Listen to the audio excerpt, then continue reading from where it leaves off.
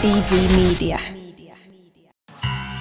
Yeah, yeah, J Man, Storyteller Part 2.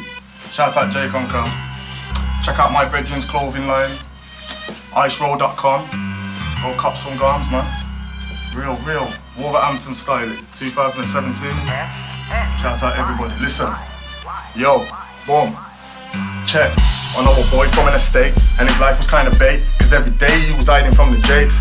But little did he know that life was nothing but a game, and if he didn't play it right, he'd end up dead or in a cage. Look, I know a boy from an estate, and his life was kind of bait, cause every day he was hiding from the jakes. But little did he know that life was nothing but a game, and if you do not play it right, he'll end up dead or in a cage. Look, I know a boy from an estate in Wolverhampton.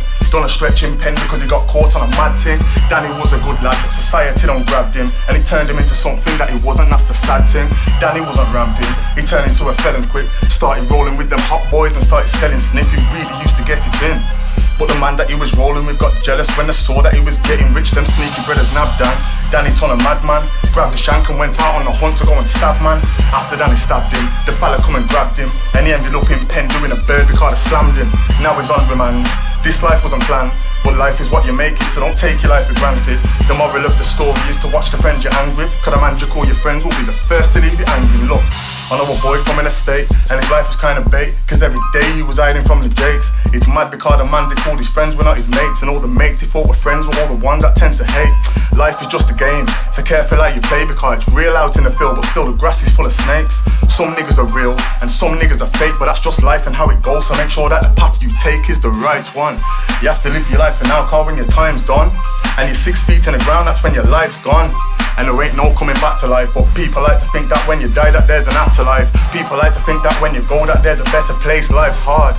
Yeah, I'll be praying for a better day, a better way. Sometimes I wanna fuck off and just get away, but I got two little boys to provide for, so I'ma set them straight. I know a boy from an estate in Wolverhampton.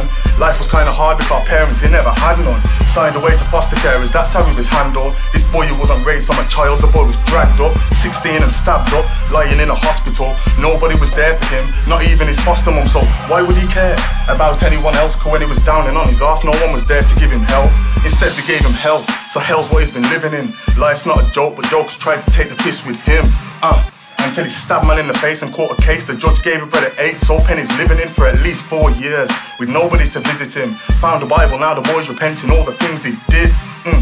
But that's a little too late because the person that he caught is now scarred and got to live with this. I know a boy from an estate, his name was Reese. He was on this road team till he got caught by the police. But before he ended up sitting in a cell, there wasn't much he didn't sell. He used to get this money in with ease, hustling for weeks, hustling for peas. In and out of town collecting money from the fiends. And what he didn't think would happen happened to a G when he got set up by a shot and started clapping to the police. Everything was blessed until the day they caught him. They run up in his yard and found two boxes of the raw tin, haze that was imported. And they found like four jib. And in his garden shed they found his dirty four fifth. Now he's on remand, waiting to be sentenced. This life wasn't planned, but now he's seeking for redemption. He's got deported back to Jamaica where he came from as a poor kid, and that's where this story ended. I know a boy from an estate, and his life was kinda bait, cause every day he was hiding from the jakes. But little did he know that life was nothing but a game, and if he didn't play it right, he'll end up dead or in a cage. Look, I know a boy from an estate, and his life was kinda bait, cause every day he was hiding from the jakes. Yeah, J Man, Storyteller Part 2. Big up yourself, yo.